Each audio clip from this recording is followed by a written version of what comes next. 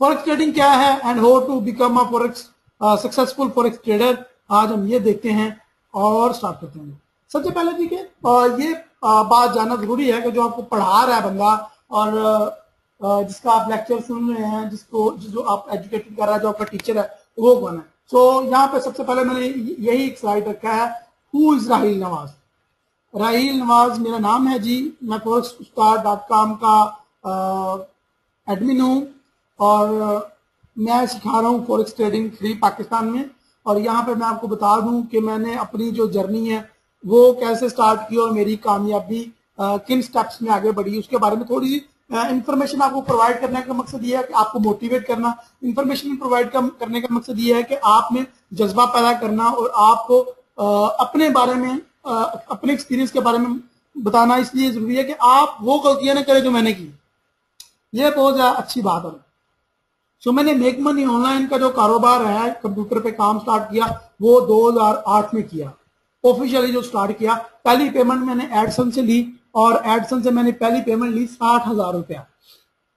जो पहली पेमेंट मैंने एडसन से ली। इनशाला फर्दर मैं कोर्स लॉन्च करूँगा। किस तरह हम एडसन से वेबसाइट से अर्न कर सकते हैं।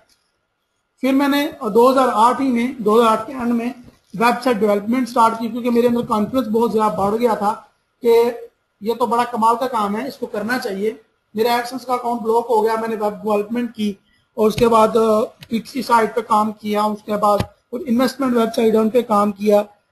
नकामी नकामी के बाद 2009 के एंड में मैंने डॉलर एक्सचेंजिंग स्टार्ट की, फिर मैंने 2010 के एंड में फॉरेक्स ट्रेडिंग स्टार्ट की। 2011 तक पूरा साल मैं, मार खाता रहा फॉरेक्स ट्रेडिंग में पूरा एक डेढ़ साल। और फॉरेक्स ट्रेडिंग में कोई कामयाबी हासिल ना की लॉस बहुत किया। लेकिन 2011 के एंड में मैंने प्रॉफिट अर्न करना स्टार्ट कर दिया एट लीस्ट फाइनली फिर मैं, जब फॉरेक्स ट्रेडिंग के कारोबार में थोड़ा सा अबूर हासिल हो गया, एक साल मार खाई तो मैंने फिर फॉरेक्स ट्रेडिंग के साथ साथ अपने और भी काम स्टार्ट किए। लाइक मैंने होस्टिंग कंपनी लॉन्च की 2014 में। इसके अलावा मैंने काफ़ी ज़्यादा वेबसाइट्स बनाई 2012 में 2013 में। काफ़ी ज़्यादा वेबसाइट बनाई। लेकिन उन सब कामों में मुझे कोई मज़ा नहीं आया। होस्टिंग में वेबसाइट डेवलपमेंट में एडसेंस में फेसबुक में मुझे कोई मज़ा नहीं आया।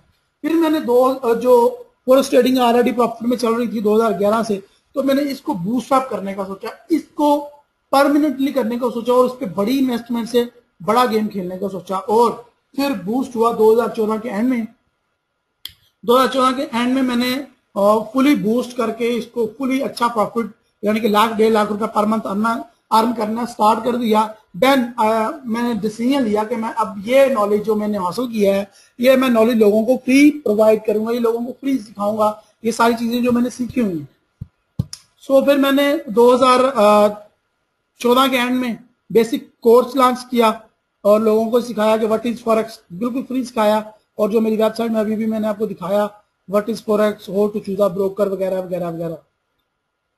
और फिर मैंने 2015 के स्टार्ट में इसकी पेड कोचिंग स्टार्ट की। 2015 में, जनवरी 2015 में मैंने फ़र्स्ट टाइम अपना फ़र्स्ट पेड क्लाइंट जो रखा, उसको ट्रेडिंग सिखाई और उसकी कामयाबी के बाद फिर मेरा ये सिलसिला रुका नहीं है। टिल नो आज मई है, आज चार मई है जब हम ये क्लास अटेंड कर रहे हैं, जब मैं लेक्चर डिलीवर कर रहा हूँ। तो अब तक अलहमदुल्ला मेरे पास अच्छे खासे स्टूडेंट हैं और अच्छी खासी मेरी फ्री कम्युनिटी एक बहुत बड़ी कम्युनिटी है ग्रुप्स हैं मेरे। अलहमदुल्ला काफ़ी अच्छी जो मेरा एक्सपीरियंस जा रहा है और लोगों का अच्छा बुरा जो है मिला जुला एक मेरे बारे में एक छोटी सी सेंस बनी हुई है। ज़्यादातर लोग पॉजिटिव सोचते हैं इसलिए उनको मैं भी अच्छा लगता हूँ। कुछ लोग नेगेटिव सोचते हैं इसलिए मैं उनको बुरा भी लगता हूँ। सो so, ये था मैं ये था रहील नवाज़। ये था रहील नवाज़ की टोटल जर्नी अभी तक की। सो so, अब चलते हैं हमारा जो मकसद है उसकी तरफ़ चलते हैं। What is forex trading what is foreign exchange forex trading है क्या? फॉरेक्स ट्रेडिंग जैसा कि नाम से ज़ाहिर है फॉरेन एक्सचेंज मतलब चीज़ों का लेन देन इंटरनेशनल आप घर बाय सेल करते हैं आप पैसे एक दूसरे को लेते हैं या फिर आप करेंसी या फिर आप जब पैसे नहीं थे जब क्वाइंस चलते थे, तब हम कैसे काम करते थे? आज से तकरीबन सौ साल ले लें या दो सौ साल, पाँच सौ साल पहले की बात कर लें तो हम लोग कैसे एक दूसरे से हेल्प लेते थे? फ़र्ज़ करें मैं एक शॉप पे गया, मैंने वहाँ पे उसको पाँच सौ रुपए दिया और पाँच सौ के बदले मैंने पाँच सौ की चीनी ले ली। तो मैंने ये एक्सचेंज किया फॉरन ये मैंने करेंसी एक्सचेंज की, मैंने कुछ दे के कुछ लिया। मैंने पैसे दिए उसके बदले में चीनी हासिल की। मुझे एक बंदे ने चीनी दी शुगर दी उसके बदले में उसने रुपीज़ हासिल किए।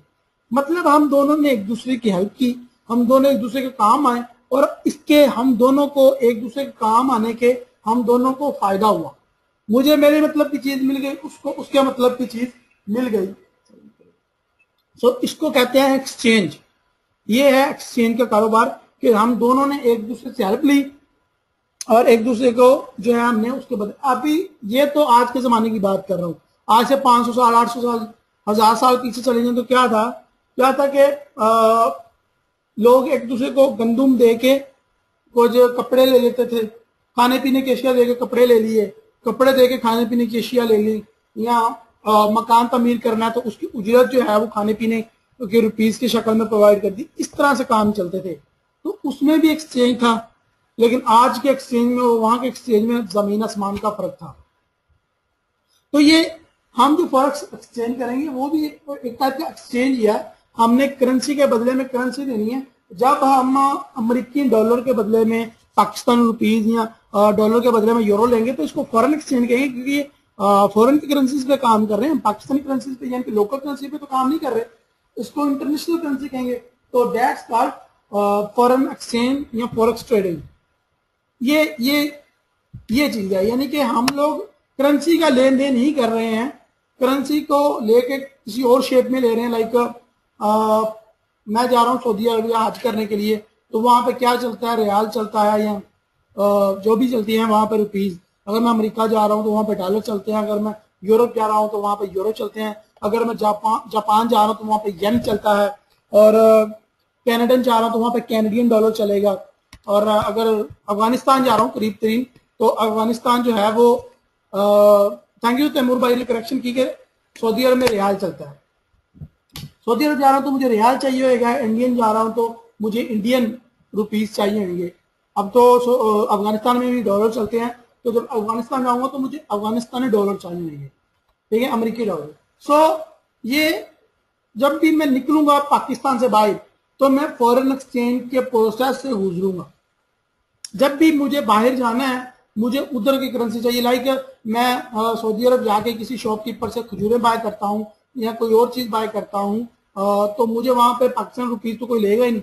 ना उसको पता ये क्या चीज़ है, ये उसको ये नहीं पता कि ये कौन से बाबे के ऊपर फ़ोटो है, उसको ये नहीं पता कि ये कितने रुपीज़ का नोट है, उसको कुछ नहीं पता। तो उसको ये भी नहीं पता कि अकाउंट जो नोट मैं उसको दे रहा हूँ, ये असली है नकली बिकॉज़ वो अपनी करेंसी अपने कंट्री की करेंसी के से वाकिफ होएगा। लाइक like मैं काम करता हूँ फ़र्ज़ की मार्केट पे काम करते हुए मुझे यहाँ डॉलर एक्सचेंज करते हुए मुझे पाँच दस साल का अरसा हो गया ना आज तक मैंने डॉलर को हाथ लगाया फिजिकली मादी हालत में मैंने कभी डॉलर ना तो देखा है, ना उसको कभी हाथ लगाया ना कभी मैंने रियाल देखा है। और मैंने कभी भी यूरो करेंसी वगैरह नहीं देखी, ना ही कभी मुझे मिली है, किसी ने गिफ्ट ही नहीं की। या मैं बाई आउट ऑफ़ कंट्री गया ही नहीं। तो मुझे बिल्कुल भी उनकी शेप के अंदाजे नहीं है, मुझे उनका बिल्कुल भी पता नहीं है कि वो नोट असली कैसा होएगा नकली कैसा होएगा। सो so, अगर मुझे आप में से कोई दोस्त आ कहता है ये सर जी आपको टेन डॉलर दिए तो मैं मुझे कुछ नहीं पता चलेगा। मैं कहूँगा नहीं भाई मुझे नहीं ये चाहिए। मुझे पाकिस्तानी रुपीज़ दे। सो so, वहाँ का बशिंदा आपसे वहाँ की करेंसी मांगेगा। तो मुझे वहाँ की करेंसी कहाँ से मिलेगी? जब मैं यहाँ से जहाज़ पे बैठने लगूँगा एयरपोर्ट पे ही मुझे करेंसी एक्सचेंजर मिल जाएगा। या फिर उस कंट्री में भी करेंसी एक्सचेंजर अवेलेबल रहेंगे। अगर सऊदी अरब से कोई पाकिस्तान आ रहा है, दुबई से लाइक इंडिया से या यूनाइटेड स्टेट से, कहीं से भी आ रहा है तो वो यहाँ पे आके करेंसी एक्सचेंज करवाएगा और फिर वो करेंसी यूज़ करेगा।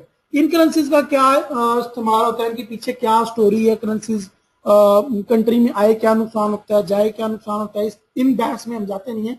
हम फॉरेक्स ट्रेडिंग को ही डिस्कस करते हैं। फॉरेक्स के ऊपर ही हम आज मुकम्मल डिबेट में बात करेंगे। एक ऑफिशियली जो है फॉरेक्स की एक डेफिनेशन स्टडी कर लेते हैं, ताकि अगर मुझसे कल को कोई पूछ ले या आपसे कोई पूछ ले बंदा कि फॉरेक्स क्या चीज़ है तो मुझे उसको ऑफिशियली और एक अच्छा ऑफिशियल रिप्लाई करना पड़ेगा। तो यहाँ पे मैंने फॉरन एक्सचेंज करेंसी की यानी कि फॉरेक्स की मैंने डेफिनेशन लिखी हुई है। फॉरेक्स एक्सचेंज की दो डेफिनेशन है जो मुझे आती हैं, जिनका मुझे पता है। इसकी हज़ारों डेफिनेशन होंगी, लेकिन मुझे सिर्फ़ दो का ही पता है। दो क्या है जी? पहले what is forex trading forex trading क्या है? पहली है जी, ये फॉरेक्स फॉरेन एक्सचेंज दो वर्ड से मिलकर बना है फॉरेक्स फॉरेन एक्सचेंज इसको लोग एफएक्स एक्सचेंज भी कहते हैं एफएक्स करेंसी भी कहते हैं एफएक्स मार्केट भी कहते हैं। लेकिन मैं इसको आपको ऑफिशियली पढ़ाना चाहूँगा कि फॉरेन एक्सचेंज यानी कि फॉरेन रुपीज़ की exchange like dollar Japanese yen Chinese rupees Pakistani rupees जब हम इंटरनेशनली बाय एंड सेल करते हैं तो ये फॉरेन करेंसी कहलाती है। और फॉरेन करेंसी को जब हम एक्सचेंज करेंगे तो ये फॉरेन एक्सचेंज यानी कि फॉरेक्स कहलाएगी। आप नोट कर रहे हैं, आपको नज़र आ रहा होगा। मैं फिर भी आपका ध्यान जो है वो डाल देता हूँ उसके ऊपर। यहाँ पे देखिए, मैं आपको दिखाता हूँ।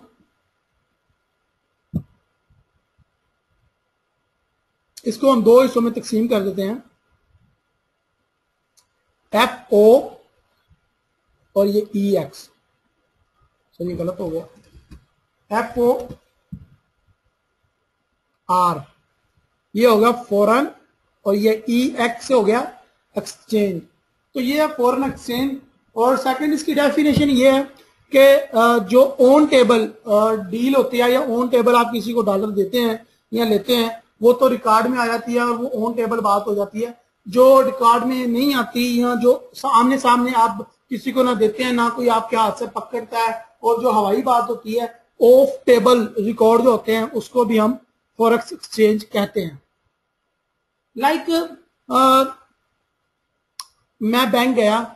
मुझे राहिल भाई को फ़ी पे करनी थी इस कोर्स को हासिल करने के लिए पंद्रह हज़ार रुपये तो तला भाई गए बैंक में।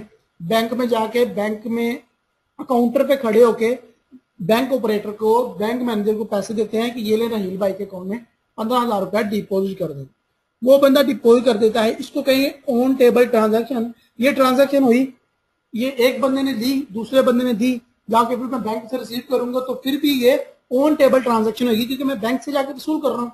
लेकिन ऐसी ट्रांजेक्शन जो हम किसी को ना लेते हैं, ना देते हैं लाइक मैं इंटरनेट बैंकिंग यूज़ करते हुए डॉलर ट्रांसफ़र पैसे ट्रांसफ़र कर देता हूँ किसी को भी।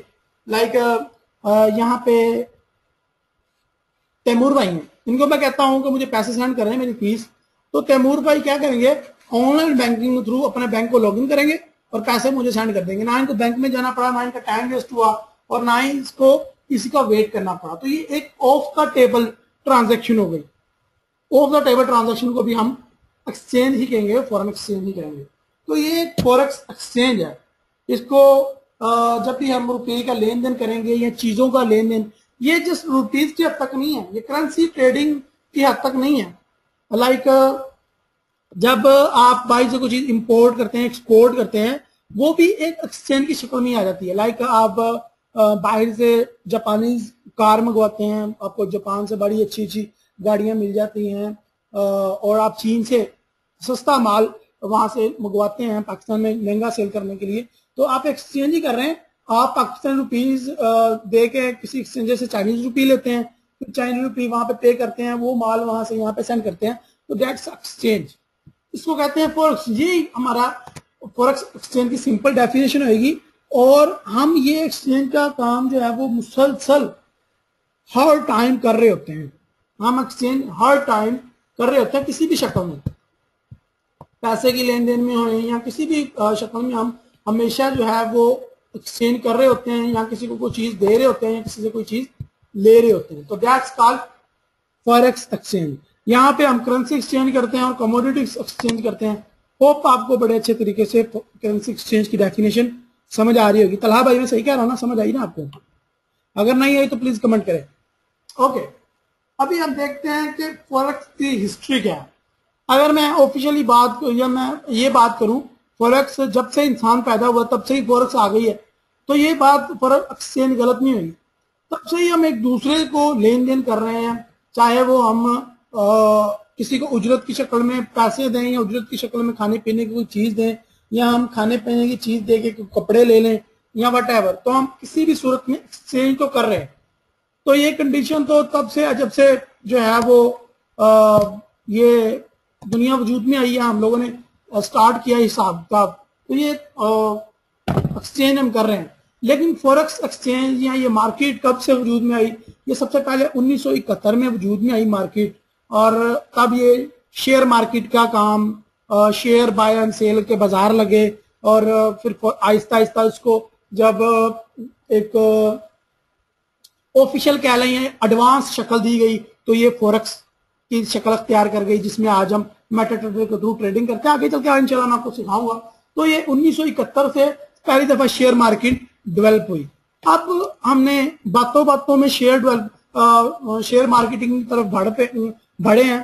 तो अब हमें पता होना चाहिए कि what is difference between forex market and share market stock market क्या है? शेयर मार्केटिंग क्या है? इसके बारे में देख लेते क्योंकि हम बातों बातों में उलझ के यहाँ पे आ तो गए हैं। तो फिर हमें पता होना चाहिए कि एक तो एक्सचेंज मार्केट है क्या स्टॉक मार्केट है क्या, और फॉरेक्स की मार्केट क्या है, और इन दोनों में डिफरेंस क्या है? और मैं क्यों प्रेफर करता हूँ कि मैं स्टॉक मार्केट में नहीं जाऊँगा? मैं फॉरेक्स एक्सचेंज की मार्केट में आऊँगा। फॉरेक्स एक्सचेंज की मार्केट मेरे लिए ज़्यादा प्रॉफिटेबल है। इसकी क्या वजह है? इसके लिए जानना बहुत ज़्यादा ज़रूरी है कि स्टॉक मार्केट क्या होता है और फॉरेक्स मार्केट क्या होता है। सबसे पहले मैं आपको बताता हूँ व्हाट इज़ स्टॉक मार्केट आज हम सबसे पहले ये देखते हैं। स्टॉक आपने यार बड़ी एक मकबूल तरीन मिसाल देता हूँ, आप न्यूज़ तो हर रोज वाच करते होंगे, या आपके अबू वाच करते होंगे, या पाया, दादा वगैरह तो आपको भी मजबूरन सुननी पड़ जाती होंगी। आपने अक्सर सुना होगा कि आज स्टॉक मार्केट में बड़ी मंदी रही, या आज करेंसी स्टॉक मार्केट के रेट बहुत ज़्यादा बढ़ गए, या आज करेंसी स्टॉक एक्सचेंज क्रैश कर गई, या हज़ारों लोग डूब गए। आपने सुना ही होगा, इंशाल्लाह, ज़रूर सुना होगा खबरों के एंड में, वो स्टॉक रेट वगैरह बताते हैं। स्टॉक मार्केट होती क्या शेयर मार्केटिंग क्या चीज़ है? इसके बारे में हम पढ़ते हैं। शेयर मार्केट या स्टॉक मार्केट होती है कि ये इस तरीके से काम करती है कि एक इसमें होता है जनाब इन्वेस्टर एक होती है कंपनी ये देखें जी, ये इन्वेस्टर भाई साहब हैं। दो तीन हमने फाइंड करके रखे हुए इनमें से मैं कोई नहीं हूँ। ये कोई है बंदे बस। इन्वेस्टर के पास बहुत ज़्यादा पैसा था। इन्होंने सोचा कोई ऐसे कारोबार में लगाते हैं, बजाय इसके कि मैं नया कारोबार स्टैब्लिश करूँ, मैं किसी ऐसे कारोबार में लगाता हूँ जो ऑलरेडी बिज़नेस चल रहा हो और प्रॉफिट अर्न कर रहा हो। तो उसके लिए किसी ना किसी कंपनी की तलाश करते हैं। तो कंपनी भाई साहब ये है let's post Coca Cola Pepsi pamper शैम्पर या कोई इस तरह की कंपनी लगा ले। इंटरनेशनल लगा लें कंपनी जापानीज कंपनी लगा लें, कोई भी कंपनी है वट इंटरनेशनल कंपनी है या पाकिस्तानी कंपनी है तो ये भाई साहब इंटरेस्टेड है उसमें जो है वो इन्वेस्ट करने में लाइक कोको कोला ये देखते यार कोको कोला बड़ी मकबूल तरीन एक प्रोडक्ट है तो मैं कोको कोला में इन्वेस्ट करता हूँ तो ये क्या करेंगे? अब कोको कोला को बाय तो कर नहीं सकते, ना ही हिस्सा डाल सकते हैं। तो क्या करेंगे स्टॉक मार्केट में जाएँगे और कुछ शेयर बाय कर लेंगे कोको कोला कंपनी के। ठीक है? तो फिर ये मार्केट ये कुछ इनको हिस्सा मिलेगा कोको कोला की प्रॉफिट में से। अगर कोको कोला लॉस करता है तो इनको लॉस होगा अगर कोको कोला प्रॉफिट करता है तो इनको प्रॉफिट होगा अगर सबसे पहली बात तो यह कि इन्वेस्टमेंट करने के लिए आपकी इन्वेस्टमेंट्स के लिहाज से कंपनी तलाश करनी पड़ेगी। लाइक कोको कोला इतनी बड़ी कंपनी एक इंटरनेशनल ब्रांड उसमें आप एक सौ, दो सौ या लाख, दो लाख या एक दो करोड़ से तो इन्वेस्ट कर नहीं पाओगे। खरबों डॉलर्स की इन्वेस्टमेंट उसके लिए चाहिए। तो फिर कैसे इन्वेस्टमेंट पॉसिबल है? आ, तो फिर क्या छोटी छोटी कंपनी तलाश की जाती है लाइक ऐसी कंपनी जो अभी स्टैब्लिश हो रही हो या इनका इतना प्रॉफिट हुजम इतना बढ़ाना हो या इतनी बड़ी उनकी डिमांड ना हो वहाँ पे जाके ये लोग इन्वेस्ट करते हैं। तो जितनी छोटी कंपनी होगी ज़ाहिर है उसको डूबने के चांसेस भी उतने होंगे या ये कह लें कि उसके शेयर के रेट्स कम या ज़्यादा होते रहेंगे। तो स्टॉक मार्केट जो है वो बड़ी लिमिटेड सी एक चीज़ होती है। और आगे चल के इसके रिव्यू देखते हैं कि क्या क्या इसमें पाबंदियाँ या क्या क्या हम इसमें कर सकते हैं। तो ये स्टॉक मार्केट है। स्टॉक मार्केट का आपको थोड़ा सा आइडिया मिल गया होगा।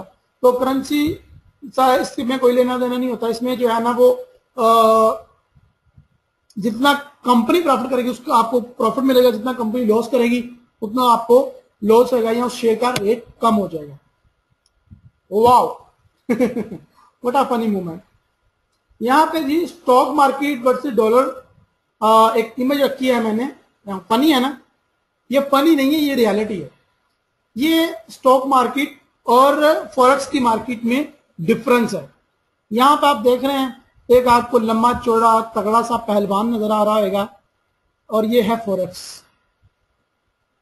अब कोई भी बंदा सोचे कि यार, कोई भी अकल रखने वाला बंदा कभी भी ये बच्चे को देख के नहीं सोच रहा होगा कि यार इसके साथ मुकाबला कर सकता है क्या एक दूसरे के साथ भिड़ सकते हैं। यानी कि ये इतना बेचारा स्टॉक जो है, वो मार्केट इतनी छोटी है या इतनी लिमिटेड है, इसका कोई फोरेक्स के साथ मुकाबला है ही नहीं। हमें नज़र ही आ रहा होगा कि एक तरफ़ लंबा चौड़ा तगड़ा सा पहलवान है, एक तरफ़ छोटा सा बच्चा है। तो इन दोनों की फाइट एक फनी सा, एक मूवमेंट कैच किया हुआ है। तो यहाँ पे आपको नज़र आ रहा होगा कि इन दोनों का तो कोई मुकाबला है नहीं। ये रियलिटी है कि फॉरेक्स का और स्टॉक मार्केट का कोई मुकाबला है नहीं। फॉरेक्स एक एडवांस चीज़ है स्टॉक एक ओल्ड चीज़ है, जो कि उन्नीस से चल रही है। जबकि फॉरेक्स अभी 2000 की सीरीज़ में स्टार्ट हुआ है, उन्नीस या नड़िनवे में आप ले लें इसकी सीरीज़ में ये स्टार्ट हुआ है तो ये बहुत ज़्यादा हाई लेवल पे ये बहुत ज़्यादा एडवांस लेवल है जस्ट लाइक ये मोटा ताज़ा पहलवान। तो चले बातों बातों में आपको ये भी, अब बात निकली है तो मेरा हक बनता है कि आपको बता दूँ कि यार क्यों नहीं स्टॉक मार्केट इतनी छोटा सा बच्चे से तस्वीर दी गई है और फॉरेक्स की मार्केट इतनी बड़ी है और क्या इसमें हमें वाकई इतना प्रॉफिट या स्टॉक मार्केट मार्केट में इतनी लिमिटेशन है, उसके लिए हम देखते हैं। ओके सबसे पहले जी, काम करने का मौका या वर्किंग आवर कितने होते हैं? स्टॉक मार्केट वर्सेस फॉरेक्स में हम देख रहे हैं। तो यहाँ पे देखें टाइम जो है ना, वो काम करना, इसमें फॉरेक्स में यस आप किसी भी टाइम काम कर सकते हैं 24 फोर आवर किसी भी टाइम करेंसी आप बाय भी कर सकते हैं सेल भी कर सकते हैं। जबकि स्टॉक मार्केट में ये कह रहा है जी लिमिटेड यानी कि इसका मखसूस टाइम है। लाइक सुबह सात बजे आपको टाई पहन के ऑफ़िस आना पड़ेगा और ये तीन चार बजे बंद हो जाएगा और फिर आपको थके हारे घर वापस जाना पड़ेगा। जबकि फॉरेक्स ट्रेडिंग में ऐसा नहीं है। फॉरेक्स ट्रेडिंग में आप घर बैठे, नंगे बैठे हो, कपड़े पहन के बैठे हो, आप जो है, किसी भी मूवी देख रहे हो, किसी भी मूड में हो, हंस रहे हो, गा रहे हो, गम में हो वट आप ट्रेडिंग करो प्रॉफिट ऑन करो, किसी भी टाइम बाय कर सकते हो, किसी भी टाइम सेल कर सकते हो। ओके कमीशन देता जी फॉरेक्स ट्रेडिंग यस जबकि stock market limited again limited okay जी. इंफॉर्मेशन इजीली अवेलेबल होएगी. यस दोनों की इंफॉर्मेशन इजीली अवेलेबल होएगी. लिवरेज किसकी ज़्यादा आएगी? फॉरेक्स ट्रेडिंग की लिवरेज बहुत ज़्यादा अच्छी है और yes and also stock market no daily अगर प्रॉफिट अर्न करना चाहें, कर सकते हैं जी. फॉरेक्स ट्रेडिंग में आप डेली क्या सेकंड में एक मिनट में प्रॉफिट अर्न कर सकते हैं, जबकि स्टॉक मार्केट में ऐसा नहीं है। एक और मैं आपको सबसे बड़ी वजह बताता हूँ। स्टॉक मार्केट बड़ी लिमिटेड होती है। स्टॉक मार्केट में आपका प्रॉफिट आपका लॉस आपके हाथ में नहीं होता, जबकि करेंसी में, जबकि फॉरेक्स ट्रेडिंग में आपका स्टॉक आपका प्रॉफिट आपका लॉस आपके हाथ में होता है और आपके कंट्रोल में होता है पूरे तरीके से। जबकि स्टॉक मार्केट में ऐसा नहीं होता। लाइक ये देखें, मैं आपको एग्जांपल देता हूँ। आपने इन्वेस्ट किया सोनी या एलजी एलजी एक बहुत बड़ा ब्रांड है। एलजी के मोबाइल हैं एलजी की एलसीडीज आती हैं। एलजी की हज़ारों प्रोडक्ट्स है। ठीक है? एलजी की इतनी प्रोडक्ट्स हैं कि गिनने में नहीं आ सकती। आप देखते हैं यार एल जी जो दो बहुत पुरानी कंपनी है, मैं एल जी में इन्वेस्ट करता हूँ। इसके एक दो शेयर ले लेता हूँ अपनी हैसियत या अपनी औकात के मुताबिक। तो आप जाके एल जी के शेयर बाय कर लेते हैं मार्केट से। पाँच लाख रुपए इन्वेस्ट कर दिया। अब आपके पास कोई चारा नहीं है। मुँह उठा के बैठ के देखो, कब मुझे प्रॉफिट होएगा, कब मुझे लॉस होएगा। कितना प्रॉफिट होएगा, कितना लॉस होएगा। अब तो आपके पास कोई चारा नहीं अब आप एक महीने बाद क्या करते हो? यू आर इन लॉस अब आप मार्केट में वही शेयर जो आपने पाँच लाख के बाय किए थे मार्केट में सेल करने जाते हो, वो ढाई लाख के रह जाते हैं। तो आपका लॉस या आपका प्रॉफिट आपके हाथ में नहीं है। ना आप अपनी मर्ज़ी का प्रॉफिट कर सकते हैं, ना अगर लॉस हो रहा तो उसको हैज़ लगा सकते हैं, ना ही कोई कोई स्टॉप लॉस लगा सकते हैं, ना ही कोई आप कोई ऐसा इंडिकेटर सेट कर सकते हैं कि जो मुझे बताए कब इस करेंसी के रेट बढ़ने हैं या कब इस एल ने प्रॉफिट करना है। तो आप सिर्फ़ क्या कर सकते हो? लिमिटेड इंफॉर्मेशन ले सकते हो। लाइक ये कंपनी उन्नीस से चल रही है और इसने इतना इतना प्रॉफिट अर्न किया। अगर मैं इसमें इतना जो है वो अगर इसमें इतना जो है वो इन्वेस्ट करता हूँ तो मुझे इतना इतना प्रॉफिट या इतना इतना लॉस हो सकता है। तो ये एक लिमिटेड सी चीज़ है। जबकि आपको वेट करना पड़ता है महीना साल। और एक और सबसे बुरी बात यह है स्टॉक मार्केट में कि यहाँ पे आप स्टॉक मार्केट में आ, कम इन्वेस्ट भी नहीं कर सकते। लाइक एक बंदा सौ डॉलर से इन्वेस्ट करना चाह रहा है या उसके पास पैसे नहीं है। अगर आपके पास पैसे नहीं भी है ना फिर भी आप फॉरेक्स ट्रेडिंग से कर सकते हैं। और फॉरेक्स डॉट कॉम का आपको वादा है कि आपको मैं सिखाऊँगा कि आपके पास अगर पैसे नहीं भी हैं तो आप फिर भी फॉरेक्स ट्रेडिंग से अर्न कर सकते हैं। आप उसके लिए विज़िट करते हैं फॉरेक्स स्टार डॉट कॉम मैं आपको जल्दी तरीका बताऊँगा। जबकि फॉरेक्स में क्या होता है? फॉरेक्स में आपके हाथ में होती है सारी चीज़ें? आपका प्रॉफिट आपके हाथ में होता है? आपका लॉस अगर हो रहा है, उसको बचा सकते हो, उसको हैज़ कर सकते हो। अगर एक तरफ़ से लॉस हो रहा है, दूसरी तरफ़ से प्रॉफिट कर सकते हो। अगर दूसरी तरफ़ से प्रॉफिट हो रहा है आप तीसरी जगह पे इन्वेस्ट कर सकते हो प्रॉफिट का लॉ स्टॉप कर सकते हो प्रॉफिट को आ, बचा सकते हो और लॉस को रोक सकते हो लॉस के ऊपर लिमिटेशन सेट कर सकते हो उसको हैज़ कर सकते हो किसी भी तरीके से आप अपनी मनी सेव कर सकते हो। ये फॉरेक्स का कमाल है जबकि स्टॉक मार्केट में ऐसा होता ही नहीं है और इसके कोई चांसेस भी नहीं है। सो so, हम ये कह सकते हैं स्टॉक मार्केट कुछ भी नहीं है। और फॉरेक्स मार्केट एक एडवांस तरीकेकार जिसको मैं बाहर जलील नहीं होना पड़ता और घर बैठे ही हर काम कर लेता हूँ। ठीक है जी?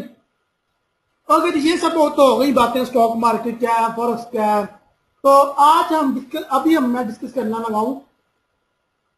to become a, a professional a successful forex trader अभी हमारा टॉपिक है how to become a successful trader मैं कैसे एक अच्छा ट्रेडर या एक अच्छा प्रॉफिटेबल ट्रेडर बन सकता हूँ?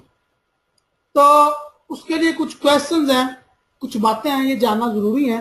बिफोर के मैं इस बात के ऊपर चलूँ कि मैं एक अच्छा ट्रेडर कैसे बन सकता हूँ? कौन कौन सी चीज़ें सीखनी चाहिए मुझे? इस तरफ़ हम चाहें उससे पहले आ, हम डिस्कस करते हैं कुछ बेसिक्स चीज़ें। आज तुम सब लोग यहाँ पे आए हो। आप सबका बहुत शुक्रिया मुझे ज्वाइन करने का। आज आप सबको यहाँ से डिसीज़न लेके उठना है। आया कि मुझे फॉरेक्स ट्रेडिंग करनी है या नहीं करनी। अगर करनी है तो मुझे प्रोफेशनल बनना है। मुझे सक्सेसफुल ट्रेडर बनना है। मुझे ड्रामेबाजी नहीं करनी। मुझे चवलियाँ नहीं मारनी। लाइक पाँच मिनट किसी और से सीख लिया। पाँच मिनट किसी और ट्रेजिडी स्ट्रेटजी पे काम कर लिया। पाँच मिनट किसी और इंडिकेटर पे काम कर लिया, दो दिन किसी और इंडिकेटर पे करके लॉस कर लिया, फिर दो दिन किसी और भाई के पास लगे भाई, मुझे लॉस हो रहा है, क्या करूँ? मुझे बताओ। फिर भाई आपको नई स्ट्रेटजी बताए और भाई आपको नए पंगे में डाल दे और आप फिर जो है ना वो वही के वही। एक स्ट्रेटजी दूसरी स्ट्रेटजी तीसरी स्ट्रेटजी एक इंडिकेटर दूसरी इंडिकेटर तीसरी इंडिकेटर एक दूसरे इस तरह आप लोगों के पास घूमते रहे और आपको अलग अलग इंडिकेटर से लॉस होते गए। तो भाई, इस तरह तुम कभी भी अच्छे फॉरेक्स ट्रेडर नहीं बन पाओगे। जब तक कि तुम एक फैसला नहीं कर लेते। तो आज हमारा पहला लेक्चर है about what is forex and how to become a forex trader how to become a successful forex trader तो आज मुझे फैसला करने होंगे। आज मुझे अपनी ज़िंदगी में चेंज लाने होंगे। आज मुझे यहाँ से इस लेक्चर को सुनने के बाद कोई डिसीज़न लेना पड़ेगा। क्योंकि एक फ्री भी है और पेड भी है। तो आप लोग कमेंट में मुझे अपना फीडबैक दीजिएगा कि आपने क्या डिसीज़न लिया। जो बंदा भी ये इस लेक्चर को सुने प्लीज़ फीडबैक ज़रूर दे। थैंक यू ओके डिसीज़न लेने में पाँच छह चीज़ें हैं, वो ज़रूरी होती हैं।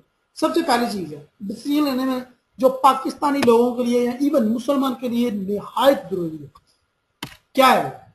वो है कि इज़ इट फॉरेक्स ट्रेडिंग हलाल और हराम हर बंदा ये पूछेगा हर बंदा ये पूछे चाहे वो मूवी देखे सिनेमा में चला जाए डांस करे लंबे लंबे बाल रखे लड़कियों को छेड़े और कोई लड़की है तो वो कोई भी गलत काम करे उसको कोई टेंशन नहीं रहेगी। जब बिज़नेस करना पड़ेगा उसको तब मौत पड़ेगी उस टाइम और उस टाइम सर जी हलाल भी है या नहीं? या कुछ नहीं ना करता है हर बंदा काम कर रहा है फॉरेक्स कर रहा है कर रहा है कर रहा है। अब वो बंदे को आ, अब आइए ट्रेनिंग लेने की बारी पेड करने की बारी आई तो उसका मुँह खुल जाएगा सर ये हलाल भी आई हराम काम भी कर रहे हैं हम लोग? यहाँ कुछ लोगों को ये बीमारी होती है, हर काम में नुकताचीनी करना या हर काम में नेगेटिव पॉइंट तलाश करना तो उनके लिए ये बहुत ज़्यादा ज़रूरी है। तो आज से मैं, जो मेरा एक नया सेशन स्टार्ट हो गया आप लोगों को क्लियर करना चाह रहा हूँ, जो आज क्लियर नहीं होगा वो आज से ही फोरक्स स्टडी को छोड़ के खैर बात क्या जा सकता है। आज उसको डिसीज़न लेना होगा कि उसको फोरक्स करनी है या नहीं, और आज हम ये देखेंगे फोरक्स हलाल है या हराम पहली बात तो यह है कि फोरक्स जो है वो हलाल है। इससे पहले काफ़ी ज़्यादा फतवे आ चुके हैं कि फोरक्स हराम है। वो क्यों फतवे आए, कब आए, कैसे आए, उसकी एक हिस्ट्री है। मैं आपको बताता हूँ। फतवे आए जब फोरक्स नई नई आई 2002 में 2001 में 2003 में 2005 में फतवे आने स्टार्ट हो गए कि फोरक्स हराम है। पाकिस्तानी उलामा इंटरनेशनल उलामा इंडिया के उलामा ने फतवे देने स्टार्ट कर दिए कि फोरक्स हराम है। क्यों हराम है? उसकी लोगों ने वजह पूछी पूछी तो पता चला ये स्वैप की वजह से हराम है। स्वैप क्या होती है? ये डिफाइन कर देता हूँ आपको। ये देखें एक मेरे पास अकाउंट खुला हुआ है। तो यहाँ पे देखें एक एक फोल्डर है और उस फोल्डर के ऊपर लिखा हुआ है बाकायदा swap S W A P swap इसका मतलब होता है सूद। लेट सपोज़ इसकी मिसाल बिल्कुल ऐसी है आ, जब मैं बैंक जाता हूँ, बैंक से कर्जा लेता हूँ। बैंक भाजी, मुझे दस लाख रुपया दे दो, मुझे बैंक स्टार्ट अपना काम स्टार्ट करना है, अपना बिज़नेस स्टार्ट कर दें तो बैंक भाजी हमें, जो बैंक है, हमें प्रोवाइड करता है पाँच लाख रुपया, और उसके बदले में मंथली या ईयरली हमसे पचास हज़ार रुपया या मंथली पाँच हज़ार रुपया हमसे फ़ी चार्ज करता है, उसको हम बोलते हैं सूद ले रहा है वो।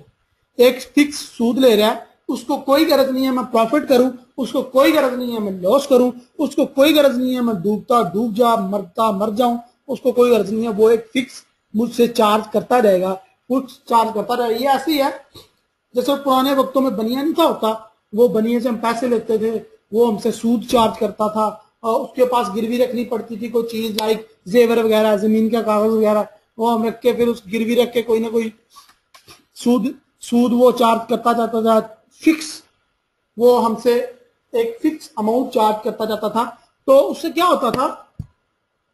अमीर अमीर होता जा रहा था और गरीब गरीब होता चला जा रहा था। तो इस्लाम आया, इस्लाम ने कहा यह हैरान है। तो यहाँ पे फॉरेक्स में भी ऐसा ही था पहले। फॉरेक्स में स्वैप, हर जब भी हम ऑर्डर लगाते थे तो हमारा ऑर्डर प्रॉफिट में जाता था, या सेल का ऑर्डर होता था या बाय का ऑर्डर होता था तो हमें जो है, वो ब्रोकर जो हमें पैसे देता था। जबकि अब सेल के या लॉस में होते थे तो ब्रोकर हमसे चार्ज करता था। जस्ट लाइक बैंक जब हम बैंक को पैसे देते हैं तो बैंक को मैं जाता हूँ जाके फिक्स डिपॉजिट में बैंक में मैं दस लाख रुपए जमा करवाता हूँ, और बैंक मुझे फिक्स आठ या दस हज़ार रुपया पर मंथ दी जाता है आठ या दस परसेंट फिक्स पर मंथ दी जाता है। मुझे इससे कोई गर्ज नहीं है बैंक को प्रॉफिट हो रहा है लॉस हो रहा है बैंक कहाँ पे मेरे पैसे खर्च कर रहा है बैंक कहीं पे इन्वेस्ट भी कर रहा है या नहीं? एम ही लेके रखे हुए मुझे इससे कोई गर्ज नहीं, मुझे फ्री का प्रॉफिट मिल रहा है विदाउट गोइंग एनीथिंग तो ये इस्लाम में हराम है। ब्रोकर्स भी पहले ऐसा ही किया करते थे। लेकिन जब शुरू शुरू में पाकिस्तान में बैंक आना स्टार्ट हुए लाइक स्टैंडर्ड चार्टर स्क्री बैंक या पूरी दुनिया में जब बैंक फैले तो मुसलमानों ने फतवा दे दिया कि बैंक भी हराम है बैंक से ट्रांजेक्शन हराम है। तो फिर बैंक वालों ने क्या किया? बैंक वालों ने एक स्ट्रेटजी बनाई। उन्होंने इस्लामिक अकाउंट के नाम से कुछ अकाउंट मुतारफ करवा दिए। और इस्लामिक बैंकारी जो है वो मुतारफ करवाई। और इसके अलावा उन्होंने इस्लामिक कर्जा और इस्लामिक प्रॉफिट भी मुतारफ करवा दी कि लाइक आप डिपॉजिट करें तो आपको फिक्स नहीं प्रॉफिट मिलेगा। आपको जो है प्रॉफिट हम, हमें जितना प्रॉफिट होगा उसका हिस्सा देंगे। और जो वो हमें कर्जा देते हैं, उसका भी उन्होंने जो है वो कह दिया कि जी अगर आपको प्रॉफिट होगा तो हम इतना आपसे वसूल करेंगे, अगर लॉस होगा तो इतना वसूल करेंगे। उस पर भी उन्होंने कोई डिफरेंट जो है ना वो एक अमाउंट रख दी, जिससे क्या हुआ कि वो हलाल हो गया।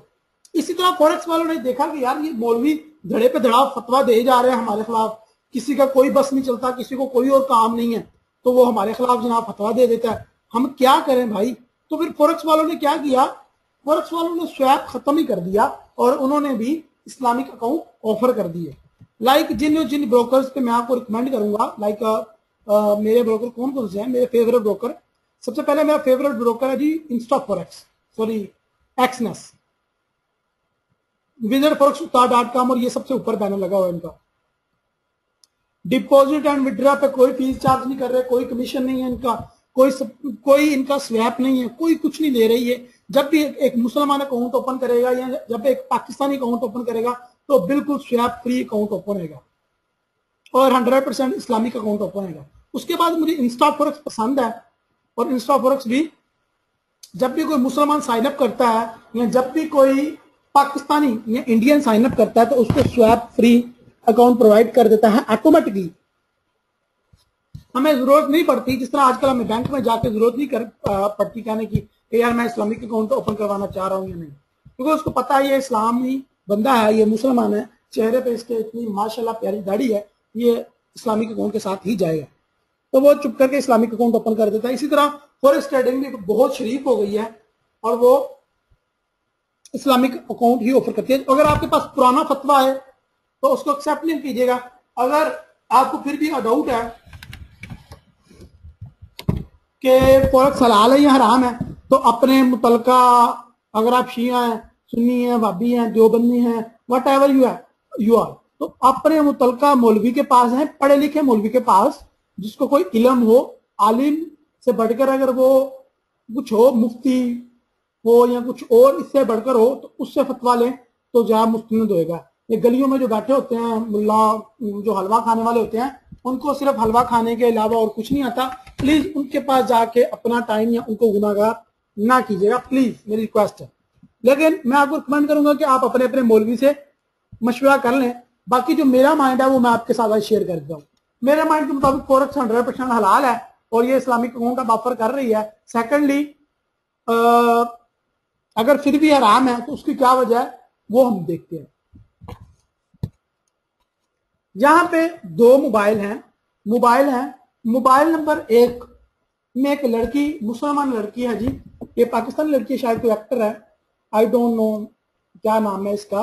बट ये पाकिस्तानी है और मुस्लिम भी है साथ तो इसलिए मैंने इसकी फ़ोटो जो है वो लगाना तरजीह दी है कि ये मुसलमान लड़की है, इसने मोबाइल हाथ में पकड़ा है सेल्फी ले रही है ये। सो ये मोबाइल का इस्तेमाल कर रही है। तो क्या ये मोबाइल का इस्तेमाल हलाल है या हराम है? आप मुझे बताएँ कमेंट्स बॉक्स में जल्दी। यहाँ पे दो फ़ोटोज़ हैं, एक में एक बंदा कुरान पाक रीड कर रहा है मोबाइल के अंदर। तो ये तरीका हलाल है जो लड़की सेल्फी अपने मोबाइल से ले रही है तस्वीर नंबर एक में ये तरीका हलाल है। आप जल्दी से कमेंट्स करें। अगर आप वीडियो देख रहे हैं मेरी वेबसाइट पे तो वहाँ पे भी आप कमेंट्स कर सकते हैं। प्लीज़ जल्दी से मुझे बताएँ। तस्वीर नंबर एक में नज़र आने, आने वाला तरीकाकार हलाल है। या तस्वीर नंबर दो में तरीका जो है वो हलाल है। आप बताएँ प्लीज़ कुरान वाला कुरान पाक वाला हलाल है। नंबर दो जो तस्वीर है, वो तरीका हलाल है। सब यही इफ्तार वही साहब कह रहे हैं कि नंबर एक। ओके जी। किसी भी मुसलमान को, किसी भी इंसान को ये पूछा जाए, मुस्लिम को तो वो यही बताएगा जो कुरान पाक जो एक पढ़ रहा है, एक मोबाइल है, मोबाइल का दो इस्तेमाल है, एक अच्छा या बुरा तो एक लड़का जो कुरान पाक पढ़ रहा है या एक लड़की जो मोबाइल पे कुरान पाक पढ़ती है ये तरीका का हलाल है। और जो तस्वीरें खींचती हैं गंदी गंदी मूवीज़ या फ़ोटोज़ या पिक्चर या सॉन्ग सुनते हैं ये मोबाइल का हराम यूज़ है। सो so, इसका मतलब ये हुआ इसका मतलब क्या हुआ? हम नतीजा निकालते हैं कि नतीजा ये है कि फॉरक्स या मोबाइल मोबाइल के हम इस टाइम एग्ज़ाम्पल है तो इसका मतलब ये कि मोबाइल हलाल है। मोबाइल का हराम जो यूज़ है वो हराम या हलाल होएगा। यानी कि मोबाइल का यूज़ हलाल या हराम होता है, मोबाइल हराम या हलाल नहीं होता। ना ही आज तक कभी आपने ये फतवा सुना होगा कि मोबाइल यूज़ करना हराम है, यूज़ ना करें।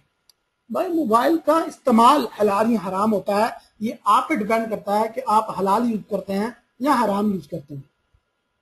ठीक है?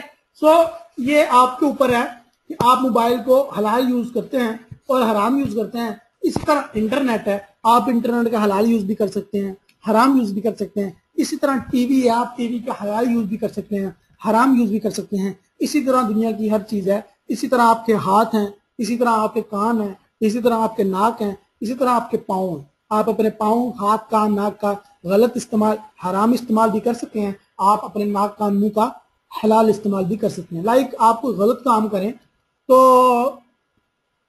अक्सर आपने देखा होगा कि बूढ़े जो एजड होते हैं, वो बड़ी गाली देते हैं, हरामी के टाइप की कोई। तो वो ये बता रहे होते हैं कि ये तुम्हारा जो अमल है ना, ये हराम है, इसको ना करो। अगर तुम नमाज़ पढ़ रहे होगे या कुछ अच्छा अमल कर रहे होगे, तुम्हें लोगों को पॉजिटिव इम्पैक्ट दे रहे हो, लोगों को पॉजिटिव व्यू दे रहे हो, एक पॉजिटिव सोच छोड़ रहे हो लोगों पे। तो ये कभी भी चीज़ें हलाल या हराम नहीं हुआ करती। मोबाइल, पैंट, शर्ट वगैरह वगैरह कोई भी चीज़ है, दुनिया को कोई भी चीज़ है प्रोडक्ट है, वो हलाल या हराम नहीं होती उसका इस्तेमाल करो हलाल इसी तरह फॉरेक्स का इस्तेमाल भी दो तरीके से होता है, एक हलाल, एक हराम। आज मैं इस बात को क्लियर कर देना चाहता हूँ। अगर आप लोग बहुत खुश नसीब हैं जो मेरे पास आए, आप सीख रहे हो, इसका मतलब है कि आप हलाल काम करना चाहते हो, सौ फ़ीसद इस काम को सीख के करना चाह रहे हो मतलब आप जुआ नहीं खेलना चाह रहे हो। लाइक मैंने कुछ अर्सा पहले मोबाइल शॉप ओपन की। मैंने कहीं से कोई काम सीखा नहीं। मुझे एक्सपीरियंस नहीं था। इवन मैंने मोबाइल कभी हाथ में पकड़ा भी नहीं था। तो मोबाइल कभी देखा भी नहीं। तो मैं डायरेक्ट मोबाइल की शॉप ओपन कर लेता हूँ। तो क्या हुआ? मैंने एक जुआ खेला कि मोबाइल की शॉप ओपन कर लिया अभी मुझे पता तो है कौन नहीं मोबाइल के बारे में। लाख, दो लाख इन्वेस्ट कर लिया। मोबाइल कितने का आता है? कहाँ से आता है? सही होता है? खराब कैसे होता है? उसको सही कैसे करते हैं? तो ये एक मेरे पैसे का गलत इस्तेमाल हो गया, हराम इस्तेमाल हो गया कि मैंने कारोबार को वेस्ट पैसे को वेस्ट करने के लिए लगाया क्योंकि मुझे एक्सपीरियंस नहीं था। मुझे इस चीज़ का नाम भी पता नहीं था मैंने ओपन कर ली शॉप या फिर ऐसा कह सकते हैं कि एक ऐसी प्रोडक्ट मैंने बाय कर ली जिसके बारे में मुझे पता नहीं है कि वो चलेगी या नहीं चलेगी और वो क्या इम्पैक्ट देगी और उसके ऊपर तो ये गलत इस्तेमाल हो गया किसी में मुझे कुछ ना कुछ सर्च करनी पड़ेगी, कुछ ना कुछ देखना पड़ेगा। इसी तरह जब हम फॉरेक्स करेंसी में मार्केट में आते हैं फॉरेक्स ट्रेडिंग में आते हैं तो हमें देखना पड़ता है, हमें सीखना पड़ता है पहले डॉलर कहाँ जा रहा है पाक रुपीज़ कहाँ जा रहा है यूरोप कहाँ जा रहा है जापानीज येन कहाँ पे जा रहा है, ये ऊपर जाएगा, नीचे जाएगा। मुझे कैसे पता चलेगा ऊपर जाएगा? मुझे कैसे पता चलेगा नीचे जाएगा? मुझे कैसे पता चलेगा इसको बाय करना है? मुझे कैसे पता चलेगा इसको सेल करना है? जब तक ये चीज़ें मैं नहीं सीखूँगा, मेरे लिए फोरेक्स का जो तरीकाकार है, ये गलत है और फोरेक्स पर ट्रेडिंग करना मेरे लिए हराम है, क्योंकि मैं जुआ खेल रहा हूँ। मुझे पता नहीं है बाय होगा या सेल होगा मैं अन्य बार बाय कर देता हूँ, अन्य बार सेल कर देता हूँ। ऐसे करके मैं प्रॉफिट कमा भी लूँ तो किसी काम का नहीं बिकॉज़ वो हराम होगा मेरे लिए उसका प्रॉफिट हराम होगा सबसे पहले हमने देखा फॉरेक्स हलाल है या हराम है। आज आपने अपना माइंड बना लिया होगा तो फॉरेक्स इज़ हलाल और मुझे इसको कंटिन्यू करना है। आप मुझे किसी की बातों में नहीं आना। अगर आना है तो मुझे पहले ही अपने मौलवी से जाकर फतवा ले लेना। अब मुझे डिसीज़न लेना यार, मुझे काम करना है। सो कल से तुम पूछ लो जो भी करना है, अपनी इंक्वायरी मुकम्मल कर लो और फॉरेक्स को हलाल हराम, एक कंसेप्ट बना के आगे चलो। इस पर अपना या मेरा टाइम वेस्ट करने की ज़रूरत नहीं है। सेकंड क्या है? How to become a successful trader बनने के लिए सेकंड शीट कौन सी है? सेकंड पॉइंट कौन सा है? ये डिसाइड करना है कि इसको आप पार्ट टाइम कर रहे हो या फुल टाइम कर रहे हो। आज मैं जो डिसीज़न लेने जा रहा हूँ, आज जो मैं डिसीज़न लेने जा रहा हूँ, वो मुझे ये लेना है कि इसको मैंने पार्ट टाइम करना है, मैंने फुल टाइम करना है। मुझे पार्ट टाइम करना है तो क्या तरीके का इख्तियार करना है? मुझे फुल टाइम करना है तो क्या तरीके का इख्तियार करना है? लेकिन जहाँ तक आप मुझे सुन रहे हो, आपने, मैंने आपको अपना स्टार्ट में अपना एक्सपीरियंस शेयर किया तो उसका मतलब क्या था? आपको बताया ना कि मैं चार साल पहले फॉरेक्स ट्रेडिंग करता रहा फिर उसके बाद मैंने इसको फुल टाइम अडॉप्ट किया। लाइक like आपको जब भी आप इसमें इन होने लगे आप स्टूडेंट हो आप शादीशुदा हो आप बिज़नेस करते हो आप जॉब करते हो आप हाउस वाइफ हो वट कुछ भी कर रहे हो आप सिलाई सेंटर चला रही हो अगर आप फीमेल हो अगर आप आ, टीचिंग कर रही हो या आप मेल हो तो आप कोई जॉब कर रहे हो स्टूडेंट हो तो जो भी काम कर रहे हो ब्राई मेहरबानी उसको कंटिन्यू रखो। उसको डिस्टर्ब ना करो ये मेरा मशवरा है। आप आपने खुद डिसाइड करना, आपने क्या करना, लेकिन मेरा कभी तो कुछ बनता है ना कि मेरे जो मुसलमान होने के हैसियत है आपकी जो अमानत मेरे पास है, वो भी तो मुझे डिलीवर करनी है आपको या नहीं? तो वो ये है कि हमेशा इसको फ़र्स्ट पार्ट टाइम लेके चलो।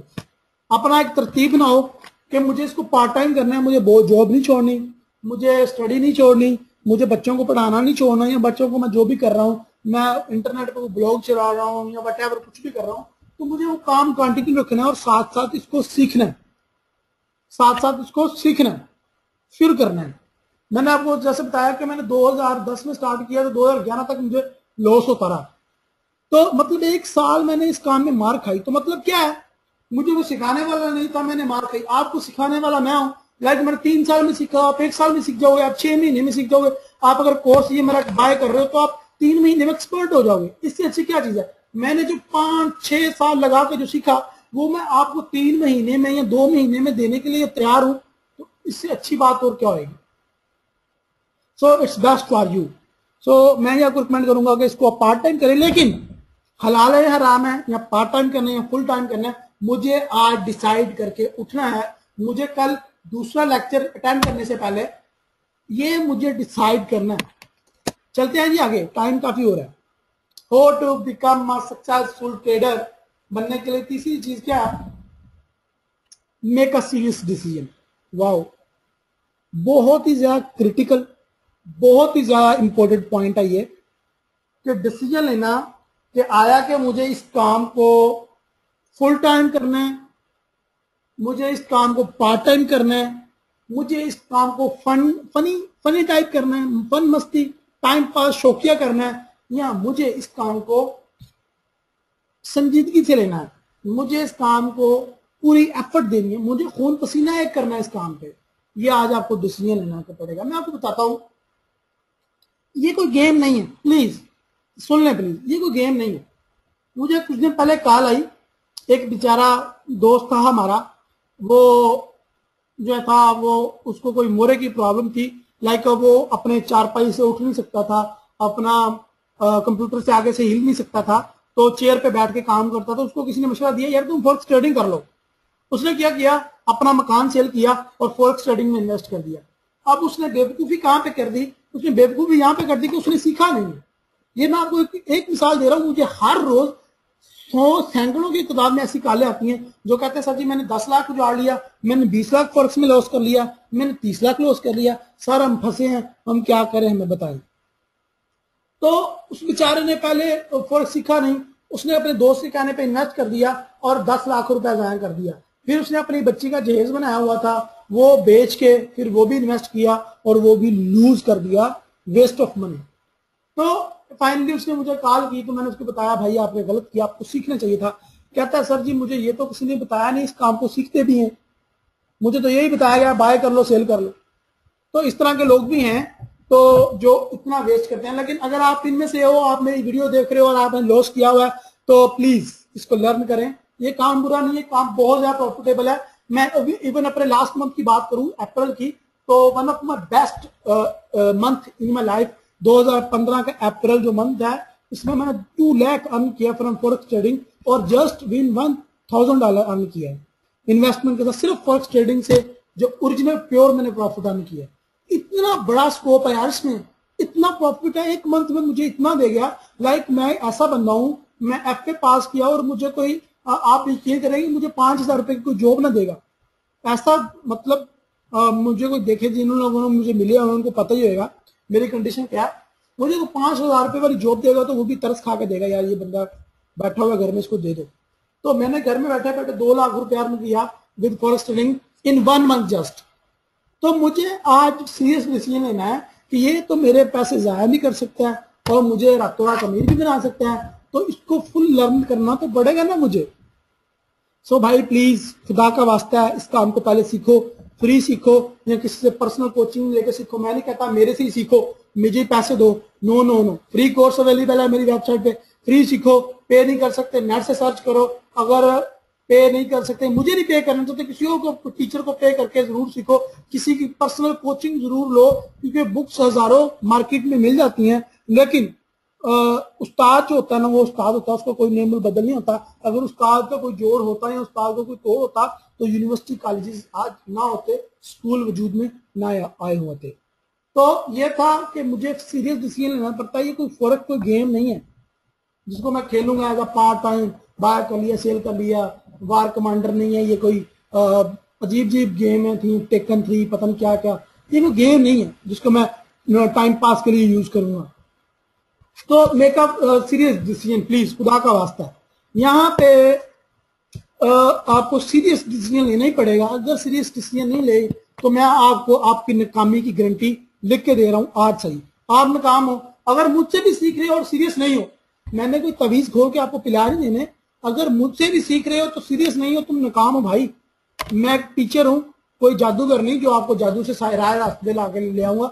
मैंने आपको सिखाना है, अगर आप अपने सीरियस हैं, अपने सेल्फ के साथ सीरियस हैं, अपने घर वालों के साथ सीरियस हैं, अपने माँ बाप के साथ सीरियस हैं तो फिर आप कामयाब हो जाएँगे अगर आप मेरे साथ सीरियस हैं। अगर आप मेरे साथ मखोली हैं, अपने काम के साथ, अपने सेल्फ के साथ मखोली हैं, ज़िंदगी को मज़ाक समझा हुआ है और बिज़नेस को एक एज अ गेम लेते हो तो आप नाकाम हो जाओगे स्पेशली इस बिज़नेस में आपके कामयाब होने के कोई चांसेस नहीं है। अगर हो भी जाओ सीखे बगैर तो फिर वो फ़ायदा नहीं आज से क्या करना है जी आपने? आपकी तरतीब होगी मेक यू शेड्यूल सबसे पहले आपने स्केड्यूल अपना क्रिएट करना है आज से। साढ़े दस बजे क्लास होती है हर रोज रहील भाई की। तो साढ़े दस बजे मुझे क्लास अटेंड करनी है, फिर मुझे सोना है या प्रैक्टिकल करना है फिर मुझे अगर उठना है, कितने बजे उठ के मुझे कंप्यूटर पे बैठ जाना है? अगर साढ़े दस बजे क्लास स्टार्ट हो रही है तो मुझे कम अज कम आठ बजे कंप्यूटर पे बैठना पड़ेगा रात को और मुझे प्रैक्टिकल करना पड़ेगा दो तीन घंटे। लास्ट टॉपिक जो रहील भाई ने एक दिन पहले सिखाया था, मुझे गूगल पे सर्च करना पड़ेगा। रहील भाई का वर्जन ये था, लोग क्या कहते हैं इसके बारे में? मुझे सीखना पड़ेगा। मुझे सर्च करनी पड़ेगी, मुझे अपनी पर्सनल क्वेरी बनानी पड़ेगी। मुझे प्रैक्टिकल करना पड़ेगा रहील भाई ने जो सिखाया है मुझे, या कोई भी जिससे भी आप सीख रहे हैं इसने जो सिखाया है, उसका जब तक आप प्रैक्टिकल नहीं करोगे forex right mathematic mathematic को सीखने के लिए क्या होता है? मैथ का जब भी कोई क्वेश्चन आप समझते हैं तो उसको जब तक आप प्रैक्टिकली पाँच, छह बार करते नहीं हो, आप भूल जाते हो उस टाइम आप जितने बड़ी जिम्मे हो। तो इसको भी आपको प्रैक्टिकली करना पड़ेगा। और इसलिए मैंने डिसाइड किया कि सैटरडे संडे क्लास नहीं हुआ करेगी। सिर्फ़ मार्केट के वर्किंग डेज़ में ही क्लास हुआ करेगी। मेक योर ऑन स्ट्रेटजी जब आप सीखेंगे तो आपको अपनी स्ट्रेटजी बनानी पड़ेगी। हर बंदे की स्ट्रेटजी लहदा लहदा है। मेरा काम है आपको हर चीज़ के बारे में पढ़ा देना। हर चीज़ के बारे में रोशनाई कर देना, रोशनाई दे देनी आपको।